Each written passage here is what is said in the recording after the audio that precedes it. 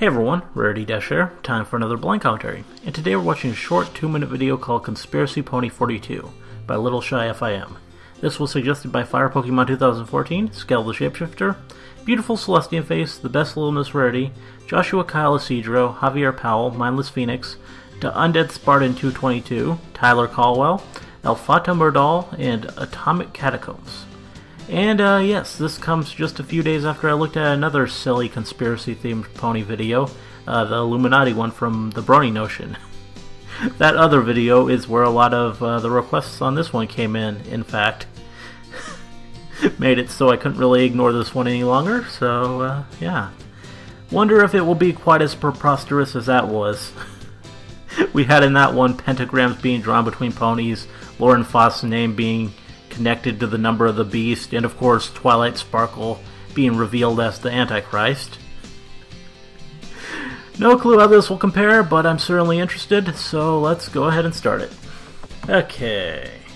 Secrets. Hidden Starting with the slender thing. corruption. Conspiracy and. Derpy's a symbol of corruption, huh? But the largest conspiracy Never would've of guessed all that. might just be lurking within every My Little Pony Friendship is Magic episode ever made. Makes this sense to me. conspiracy has remained a mystery for many years, with little hope of being solved.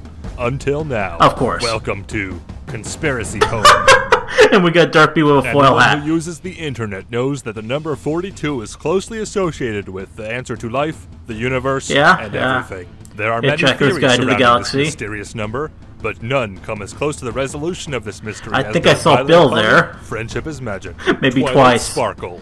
She's the main character of the show and a favorite pony to many. But beneath her innocent-looking smile and animated equine-shaped pixels lies a dark secret. Twilight Sparkle holds the key to solving the Great 42 mystery, and the answers are all around us. She's the star of the show, which aired in October 10th, 2010. That's 10 slash 10 slash 10, which in decimal binary equals, you guessed it, 42. Some may call this connection Is that far right? too abstract to hold any water, but the further evidence is overwhelming. Twilight's promotional trading card, number 42.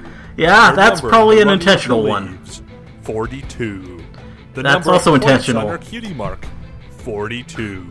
I don't know about that one. That might be. isn't contained by mere fiction either. Tara Strong, the very voice of Twilight Sparkle, turned a certain age of relevant importance this year. Accurate as of this video's production, of course. Thanks to this humble cartoon about pastel magical talking ponies, we may have just Don't solved a mystery. think that means anything. The internet itself. 42 obviously has a close association with Twilight Sparkle. Twilight represents the element of magic. The show is called Friendship is Magic. Therefore, friendship is the meaning of life. Really?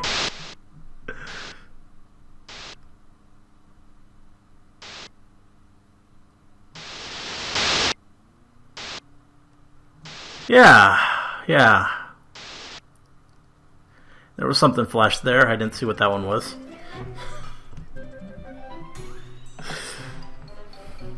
So, that was a thing. I, uh, I think the Brony notion sold his conspiracy a little better. With Little Shy, you can kind of tell right away just from the tone of his voice that he's just being silly and really doesn't expect anyone to buy into it at all. Which, uh, yeah, his conspiracy also wasn't quite as wonderfully ludicrous. Uh, no Antichrist here, just an exploration of coincidence and a few intentional references regarding regarding the number 42, which is actually something that doesn't really have much greater meaning and it's mostly just relevant for its place in pop culture due to the Hitchhiker's Guide to the Galaxy.